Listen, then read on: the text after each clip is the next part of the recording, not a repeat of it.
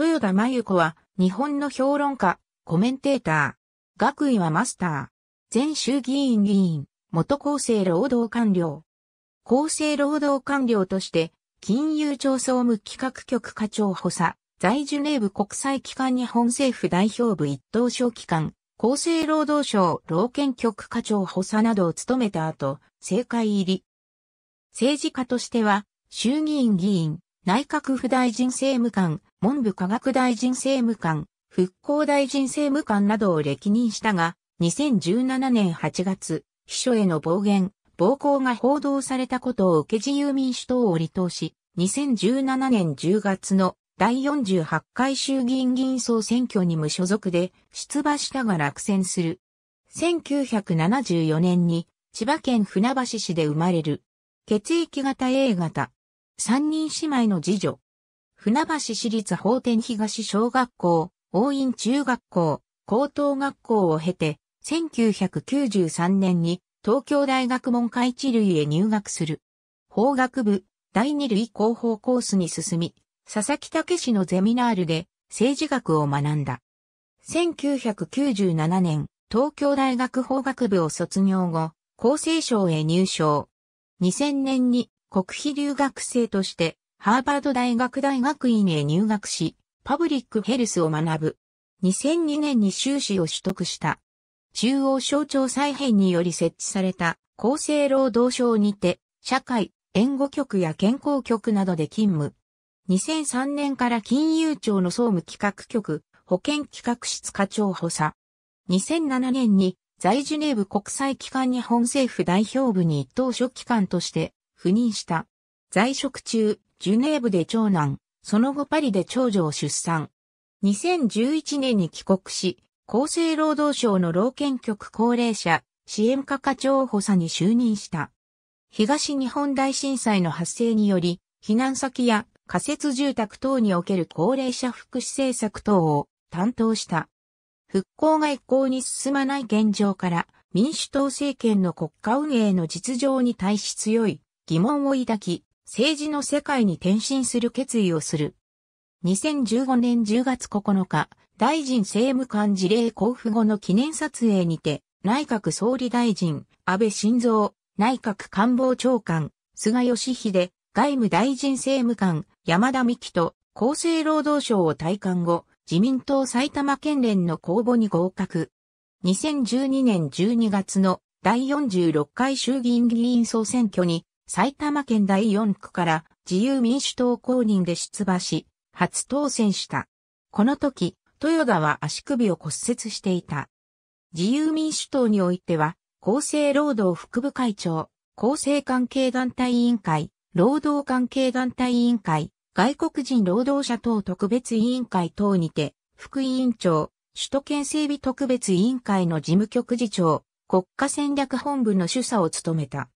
派閥としては、清和政策研究会に所属した。2014年に第47回衆議院議員総選挙で他候補を大きく引き離して再選。2015年10月9日に第3次安倍第1次改造内閣の内閣府大臣政務官、文部科学大臣政務官、復興大臣政務官に就任。2017年6月22日、週刊新潮で秘書への暴言や暴行について報じられ、同日に自民党へ離党届を提出し、8月10日に離党が了承された。国会議員になってからの4年半で自身の秘書が100人辞めたと報道されたが、それに対して辞めたのは15人程度と反論した。2017年10月の第48回衆議院議員総選挙に無所属で出馬したが、自民党が擁立した保坂康氏に敗れ落選。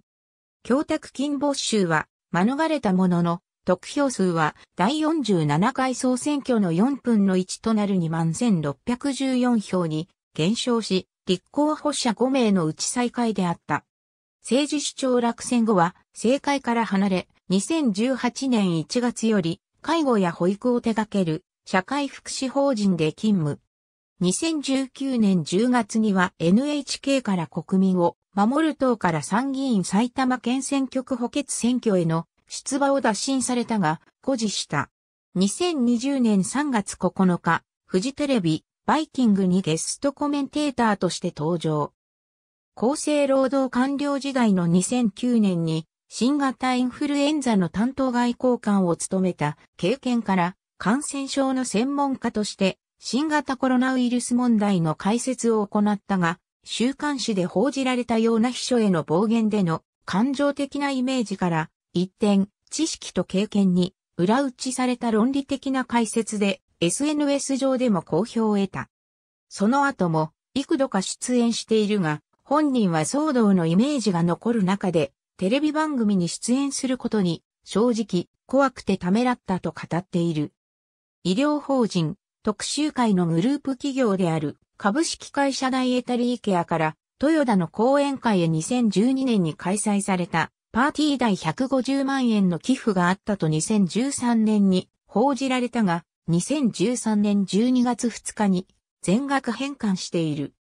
2014年4月17日、春の園遊会に夫と共に招待されたが、夫ではなく、招待者でもない豊田の母親を同伴して入場を試みるも、宮内庁職員から非招待者の入場を拒否されると、大声で抗議し、静止する宮内庁職員を無視して母親を同伴して入場した。その後、宮内庁は衆議院へルールの周知徹底を要請した。2017年6月22日発売の週刊新潮が豊田が制作秘書の男性に対して暴言、暴行を行っていたと報じ、元秘書が録音した音声を YouTube のデイリー新潮で公表した。6月29日発売の週刊新潮の報道によると、同氏が公表した音声には、元秘書への豊田の暴言、元秘書の娘がひき逃げや強姦通り魔にあって殺されるという例え話が含まれていた。6月22日発売の週刊新潮の報道によると、この暴行のきっかけとなったのは、豊田の支援者へ送るバースデーカードの宛名を元秘書が間違えたことに豊田が激怒したことであった。6月29日発売の週刊新潮の報道によると、豊田の赤ちゃん言葉による暴言も存在した。6月22日、自民党幹事長代行の下村博文は、豊田が精神的に不安定となり、入院したと発表した。6月22日、豊田の事務所は暴言、暴行の事実を認めた。豊田は元秘書に対する暴言、暴行の責任を取り、事務所を通じて自民党に離党届を提出した。7月3日、毎日新聞は、豊田の事件が2017年都議選における自民党大敗の一因となったと論評した。7月6日、元秘書は、豊田から暴力を振るわれた旨の被害届を埼玉県警察に提出した。元秘書は、豊田から被害を受けた際の音声データ、診断書も埼玉県警に提出した。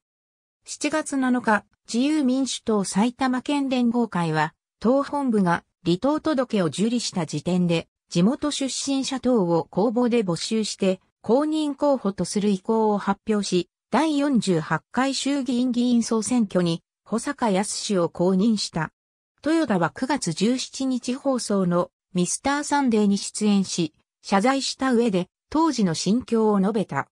10月27日、埼玉県警は傷害と暴行の容疑で豊田を書類送検した。容疑は顔や頭を殴ったなどと報道されたが、豊田はそれらを否定して手は挙げたが、頭を殴ったのではなく肩を叩いたと説明していた。12月27日、埼玉地方検察庁が豊田を不起訴とした。豊田の障害と暴行の嫌疑は拭えず、元秘書は、豊田と示談していないが、刑事処罰を求めない旨の上申書が、元秘書から埼玉地検へ提出され、起訴猶予とされた。12月27日、豊田は事務所を通じて謝罪と反省を述べたコメントを発表した。ありがとうございます。